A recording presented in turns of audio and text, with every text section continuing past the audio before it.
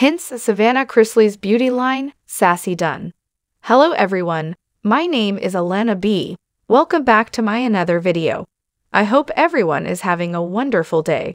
Before starting the video, please go ahead and hit the subscribe button and give this video a like up. Are there hints that Savannah Chrisley's beauty line, Sassy, is officially done? She has prided herself on the company and expanding it as much as she can.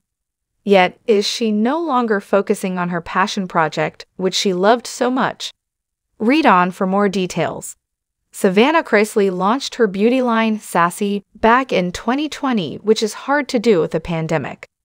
She sold it online and utilized the beauty of social media to get the word out about it.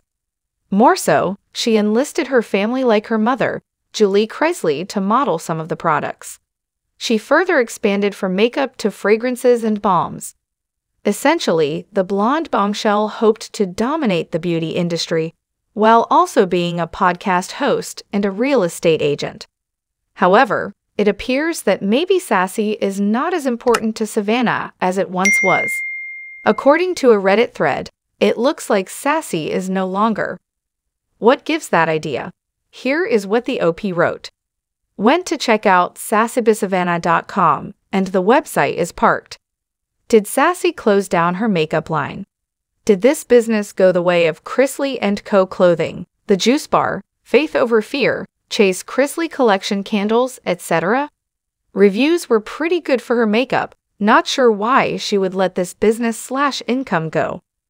That is a very good question, and it would make sense if she was not as invested as she has many other priorities, like raising her youngest siblings. Upon checking, the domain is gone, so what were some thoughts on this? probably couldn't do it anymore or got bored with it. She said she needed to devote her energies elsewhere. Wasn't it about this time last year she talked of rebranding it? But it ended up in dollar stores. Grifters aren't normally productive at anything but grifting, a anyone named Chrisley.